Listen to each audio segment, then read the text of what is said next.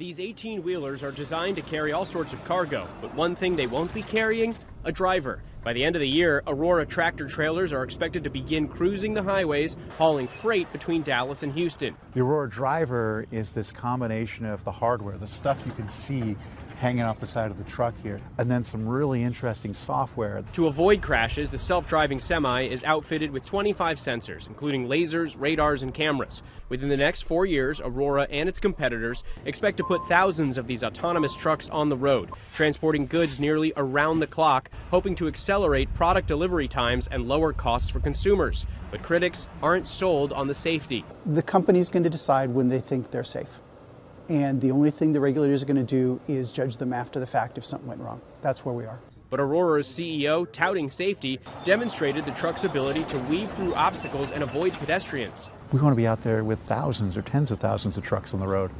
And to do that, we have to be safe. Meanwhile, with pedestrian fatalities on the rise nationwide, up more than 80% since 2009, new action to make cars safer. A new federal safety regulation will require all new cars and trucks be equipped with automatic emergency braking, or AEB systems, which use sensors to hit the brakes to avoid a crash when the driver fails to. Beginning in 2029, AEB systems will be required to prevent collisions with other cars at speeds up to 62 miles per hour and will be required to stop entirely before hitting a pedestrian at up to 45 miles per hour. Regulators say the technology could save hundreds of lives per